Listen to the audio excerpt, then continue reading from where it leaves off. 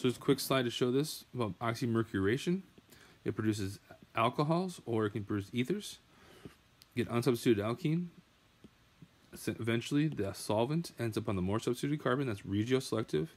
The stereochemistry part is that the OH and the mercury end up on opposite sides, which eventually is the OH and the hydrogen you add. And you're responsible for knowing this step, but not this step for mechanism. So you get the Markovnikov product and you get the trans stereochemistry.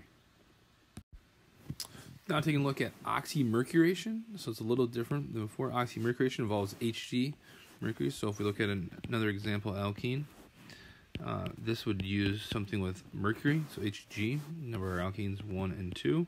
Here we add H and solvent, so whatever the solvent ends up being here.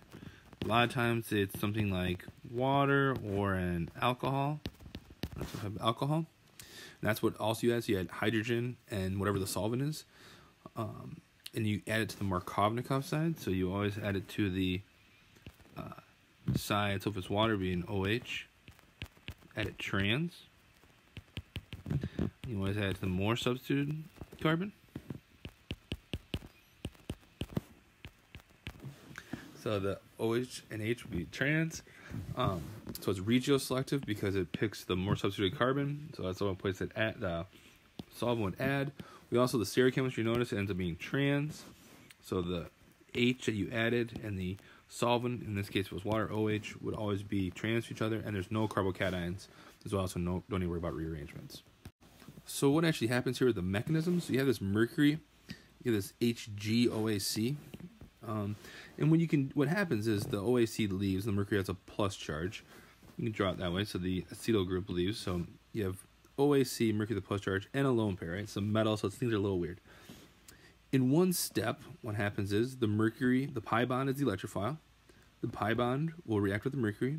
At the same time, the lone pair in the mercury, remember this is a metal, so there's lots of extra electrons, will come and react with the carbon, um, one of the carbons of the pi bond. So what happens is you form this three mem- this three membered ring, this mercurinium ion, and this is the most stable intermediate. And you notice what happens is the mercury adds on one face, and so it's this three membered ring, right? So the mercury either from the top or it can from the bottom. Now the interesting part here is when the mercury adds, you have two different types of carbons here. You have a secondary carbon and a tertiary carbon. And turns out the weaker bond, the more reactive site, is going to be the tertiary one right? Because that's the more delta plus.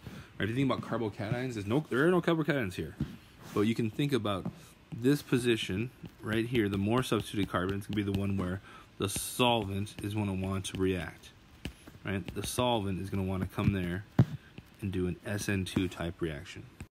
So this is just showing you a little bit more detail, right? You have your pi bond. If you had carbon, let's see, you had carbon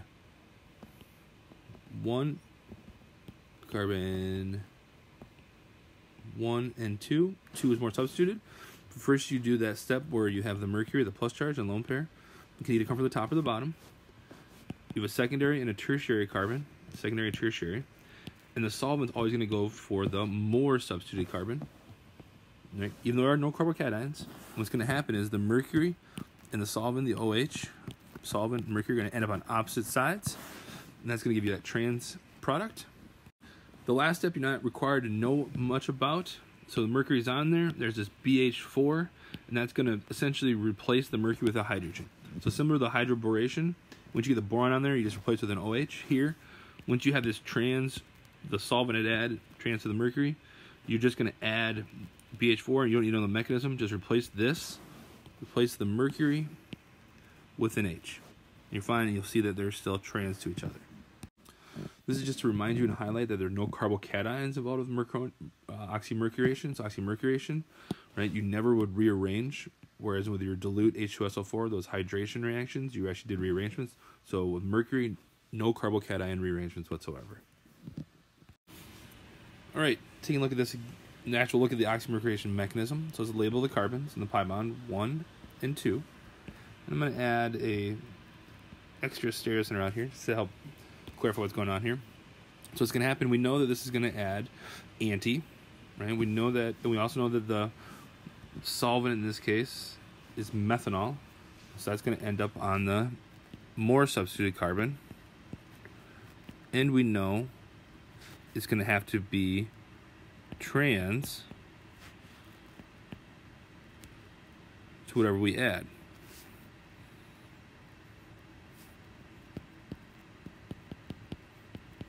So for the original H on carbon 2, I label HA. HA will have to be here, and the one we're adding is going to be HB. H4, and we're going to call those fours are all they're all HBs. You notice what happens. The solvent we added is trans to the H we added, which makes sense. We knew that was going to be happening. Trans addition, stereochemistry. We also notice carbon 1, carbon 2, the solvent ends up on the more substituted carbon. We also make, all right, the other product we're going to make, and the stereochemistry is the same here, we're actually going to make some diastereomers now.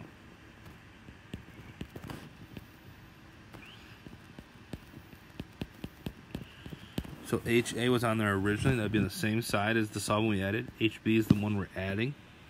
So it'd be trans. So let's actually break this down now in the mechanism. So what happens in the mechanism, if I show one version, which you can do here, the mercury, there's the pi bond.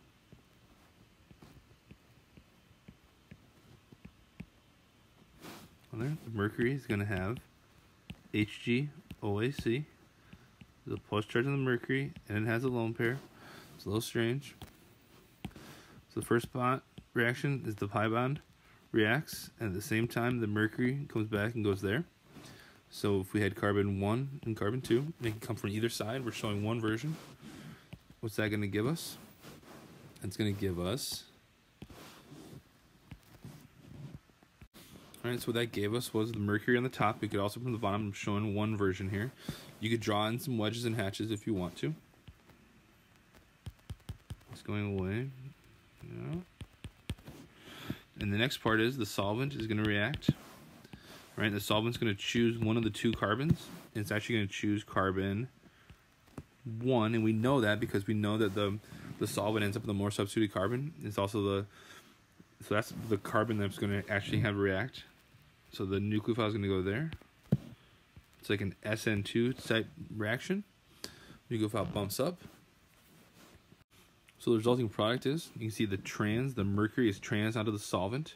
The solvent came from the back side, from this three-membered ring, like an SN2 type reaction, right? So you see the solvent's there. Essentially, we'll do a deprotonation at this point, so we'll lose the hydrogen that can come from the solvent. Can take that. We could just make H plus. So with minus H plus, and then what we have is the final product as far as mechanisms part that you need to know. HA.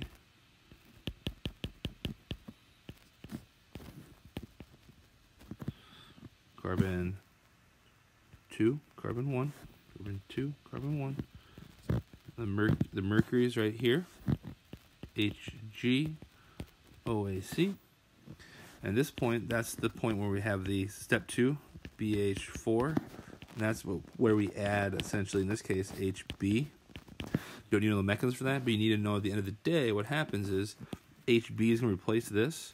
And so HB and the solvent, HB and the solvent end up on opposite sides.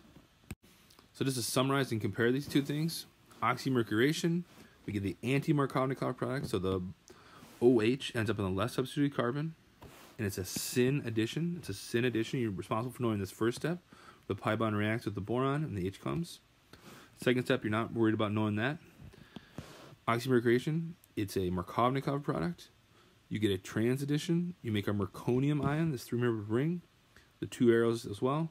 You do an SN2 where the solvent reacts with the more substituted carbon. Get that up. You get the merc. You get the mercury and the OH on opposite sides, and then eventually the mercury just gets replaced with the hydrogen. You get the trans uh, stereochemistry.